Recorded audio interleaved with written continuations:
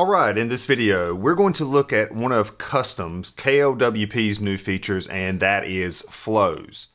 If you're familiar with Tasker, it's kind of like a version of Tasker built directly into Kustom, and you can create these tasks or these flows to do certain things. And the example I'm going to show to you here, this is an image that's getting pulled randomly from unsplash.com, the API. I'm going to go over that with you right here in a moment, but I can tap on this image and it's going to trigger a flow, which is going to pull another random image from unsplash.com. And we can do this as many times as we want. I just tapped on it again and it's going to load another image. And we're triggering a flow to do this. Now, in order to do this over at unsplash.com, you will need to have a developer's account. Now, right now, I just have a demo set up, custom right here. You're limited to 50 requests per hour of course, you can up that if you go into production or enterprise. And if I tap on that application custom, of course, you have some information that you'll need to read here.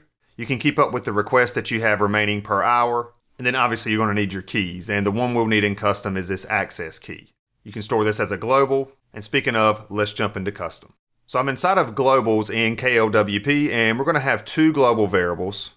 One of them is called JSON. We're going to use the API to pull this information and it's going to be a JSON file. So we are going to do a little bit of parsing to get the information that we need. And then we need a global for key. And that's going to be that key I mentioned a moment ago. Now we have this new feature, flows, and we can add a flow up here in the top right hand corner. You can see I already have one. Opening that flow up, and here's how this works how do you want to trigger the flow? And for this particular example, we're going to do a manual and basically we're going to touch, but I'm going to show you how we actually have to apply that to the image as well. But this is going to be a manual trigger.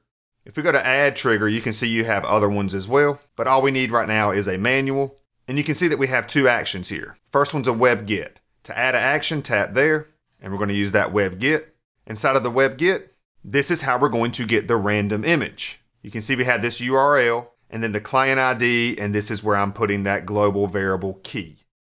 And as a matter of fact, if I type that URL in, this is the JSON file that it pulls up. And all we need to get here is this raw image. And I, I mean, you could try the full, the regular, or whatever. Uh, smaller file sizes for the thumb, obviously. But I'm just going to pull the raw image. Of course, you can get tons of other information, the description, the alternate description, whatever. But every time we trigger this flow by tapping our image, I haven't shown you that yet, it's going to reload this file essentially, and we're going to get a random image every time.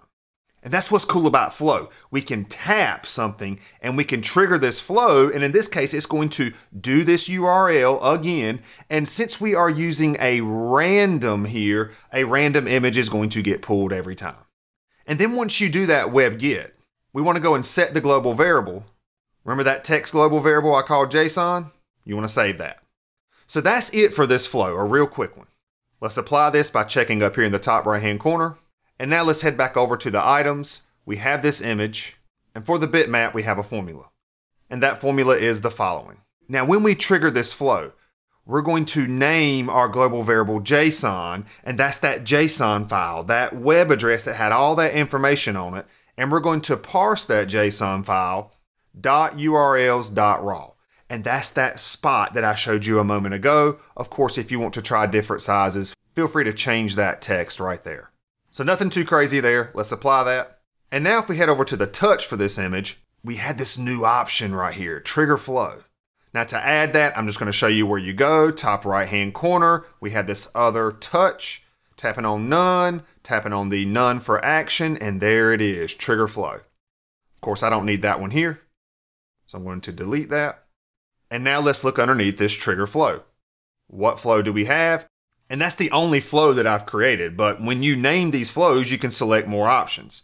And I didn't show you the name, but I guess it goes without mentioning. If I head back over to the flows, jump right back into here one more time, and you can see that we did name it Unsplash. So again, what's happening here? We have set a touch onto this image. That touch is going to trigger that flow. What does that flow want to do? It's going to do a web get. It's going to get that JSON file. It's going to store that JSON file as a global variable. And then for the actual image itself, underneath bitmap, we are parsing that JSON to get that image URL or that image file. And then when it pulls that, that is actually what's showing this image here. Saving this up, heading back to the home screen. And if I tap again, you do have to give it a few seconds to actually pull that new image. But as you can see, each time we do this, it's going to re-trigger that flow. It's going to get yet another random image, and we can do this as many times as we want, assuming we don't overdo our calls. But there you have it, one small application of flows, a new addition to KLWP. If you like what you see and you haven't already, please consider subscribing. And that's it for this video. I hope it helped.